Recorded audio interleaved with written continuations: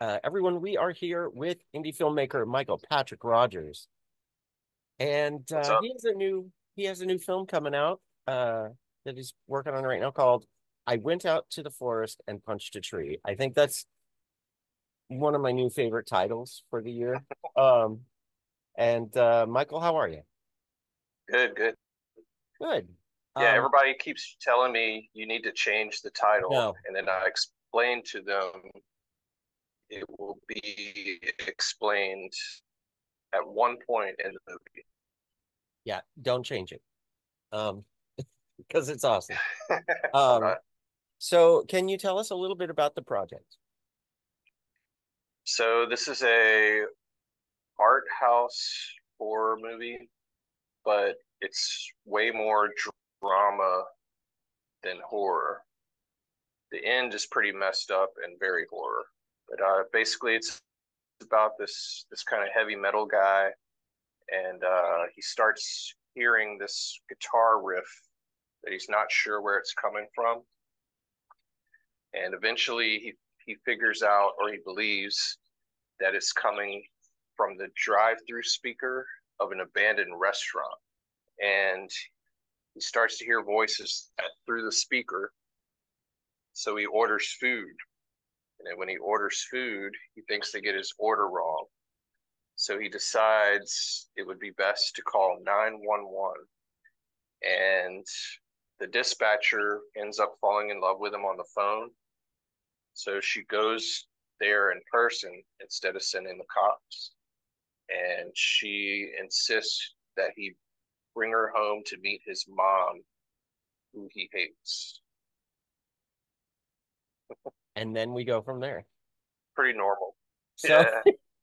yeah, I don't know how many restaurants I've ordered from that were closed. I mean, it happened. Yeah. Um, yeah. So that sounds that sounds very uh Lynchian. It sounds very uh Donnie Darko. It sounds very, you know, it sounds it sounds kind of like it borders on the drama horror, like kind of straddles like yeah. you were saying, both of them. Um. So in the in the Indiegogo, I I uh, described that basically this will be my my Eraserhead because David Lynch definitely was a big influence on me. Uh, coming out of high school, I used to make instrumental noise music, uh-huh. and then when the first time I saw uh, Eraserhead, I was like, "Whoa, this people actually use or people other people actually know what kind of music or noise this is because David Lynch the Eraserhead soundtrack is nothing but noise pretty much. Right. And that so he instantly became uh, one of my favorites.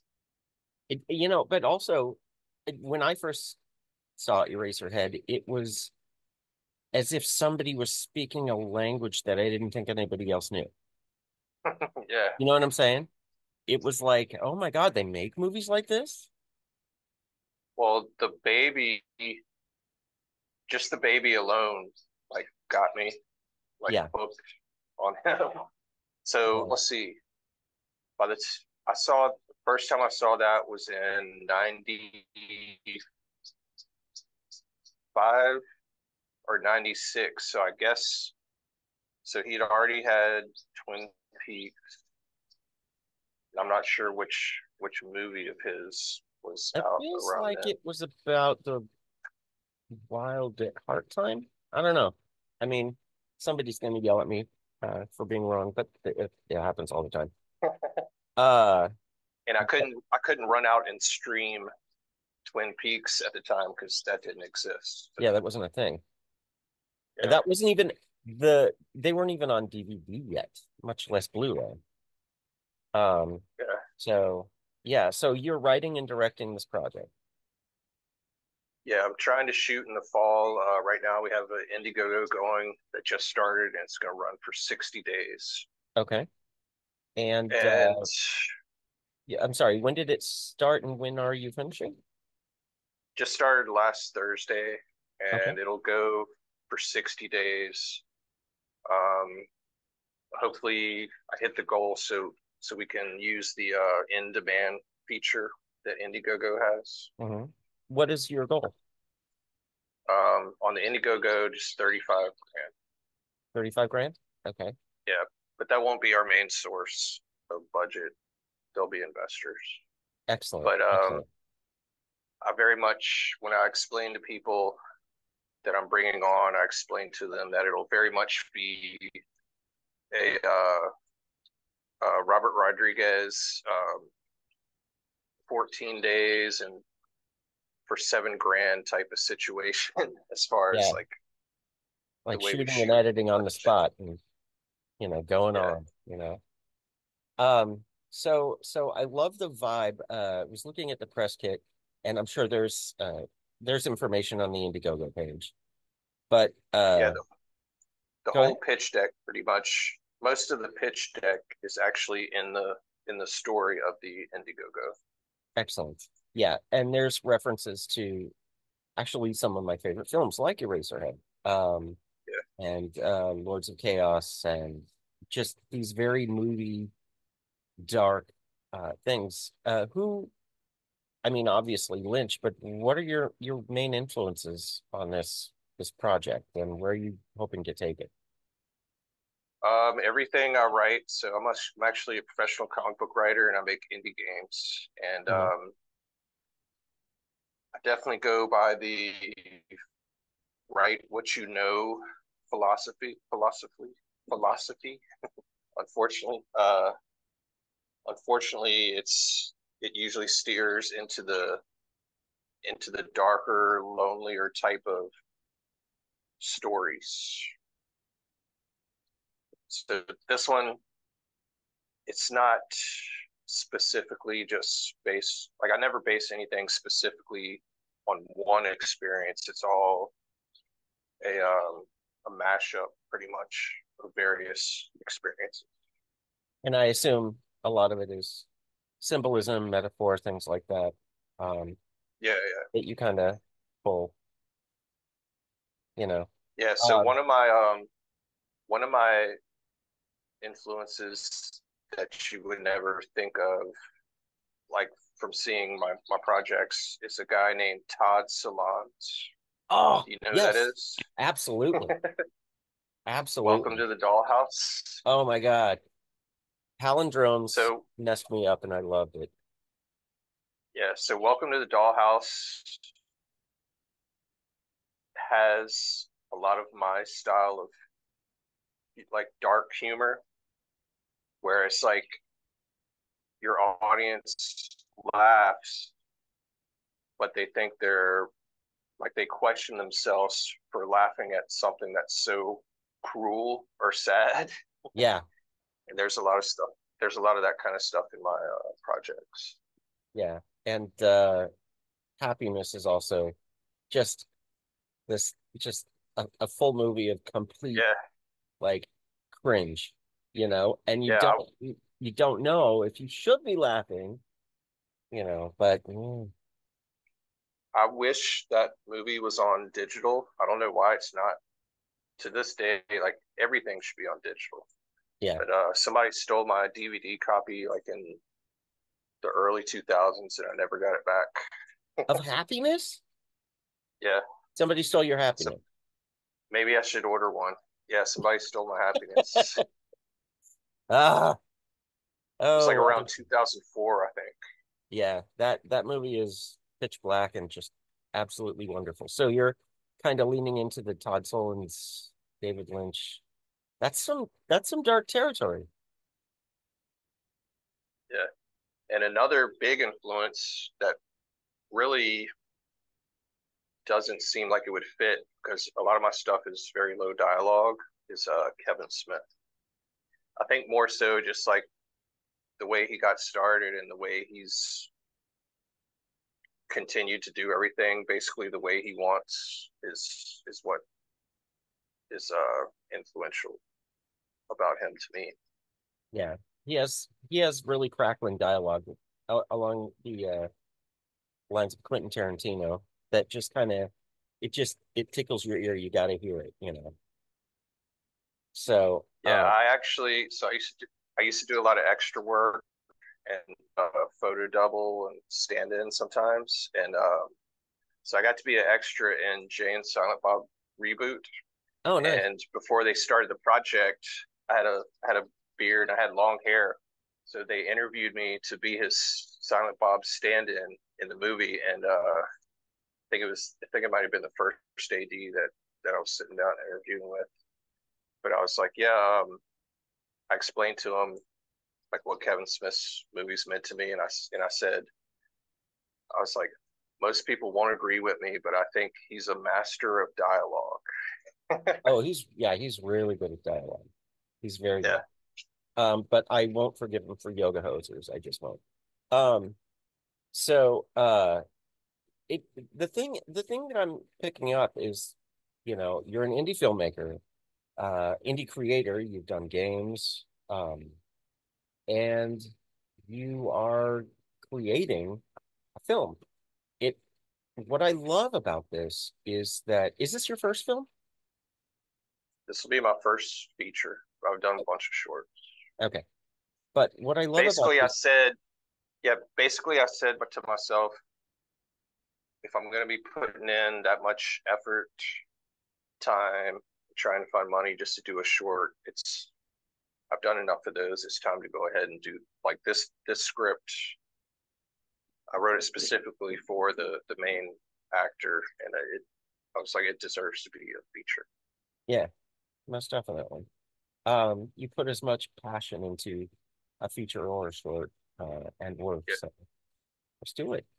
Um, but what I love about this is how steeped you are in film knowledge and film and, and passion for film, uh, especially the things that you like.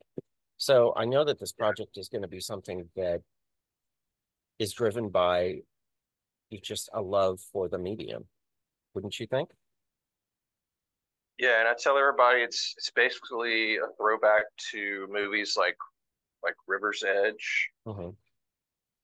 Um, movies from the early 90s, late 80s do it for me a lot more than, than current movies. Things that you had to rent on VHS?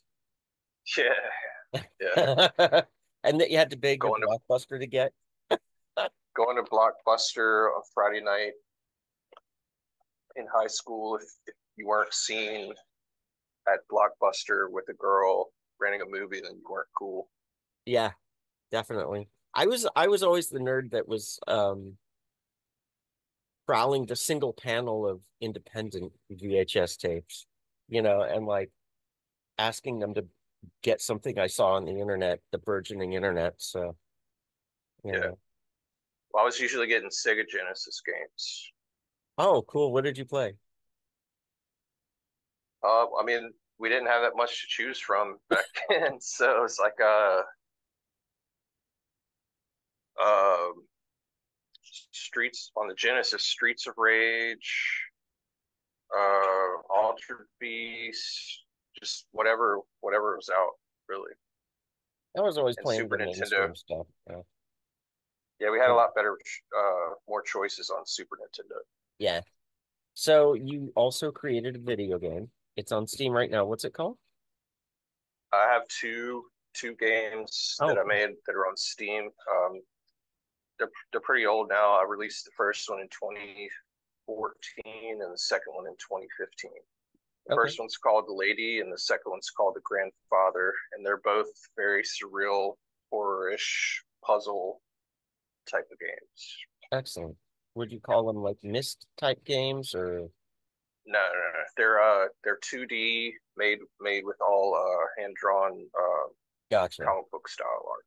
Gotcha. So the artist the artist on those two games is a uh, he's a comic book art like full time comic book artist. His name's Stanislav Yakimov. He's in Russia in uh, Moscow. That's an awesome. And name. I've worked with him on several things, but well, most people know him as uh, Saint Yak. Okay. Like he's done. He did. You know the uh, the recent um, Teenage Mutant Ninja Turtles um, Last Ronin, he did some alternate covers for that. He's done a lot of stuff. Okay. Very cool. So now you are pushing to get funding for I went out to the forest and punched a tree.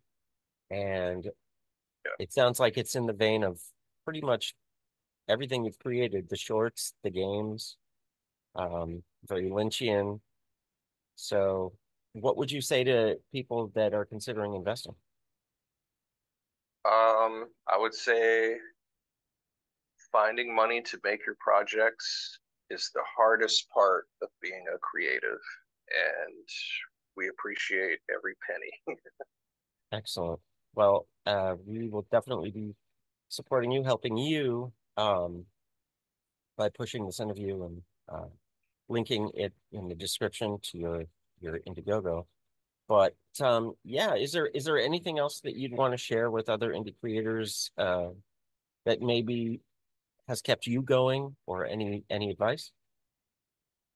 Um, my DP said this the other day, you're never too old, and I'm getting old. Like I always feel like, oh, the older I'm getting, I'm running out of time. But I guess uh, some words of wisdom is you're never too old to get it done, basically. Yeah, definitely. I mean, Anthony Hopkins really didn't uh, land on the scene until big until Silence of the Lambs or just before that. So, and you know, Yeah. look at that. He was pretty old then, I would assume. Yeah, he definitely was. And then Yeah. he got an Oscar for what, 20 minutes of screen time? So, um, so yeah, there you go. Well, best of luck, Michael, on uh, your new project. Uh, the the Indiegogo ends what in 45 days? Ish? Oh no, we still got still got over 50 days left. Okay. So you got there's yeah, there's there's uh there's several perks that give you a chance to be in the movie as far as um we have a 911 call scene where there's a couple of perks to have your like you'll do a call with me actually on the phone that'll be in the movie. There's some for uh, your picture and inside of the abandoned restaurant as a uh, former employee of the month. and there's a there's a few yeah, there's a few perks. I think I put four slots to actually come be uh, a neighbor in the movie with like a couple lines nice. for one day. That is awesome. Well, everyone, definitely check the description, get to the Indiegogo, and Michael Patrick Rodgers, best of luck on this project, and uh, hope to be talking to you again after you've gotten way over your goal. Uh, for fun. Me too. All right, right, man. thanks a Thank lot. you so much for your time. No problem. Have a good day.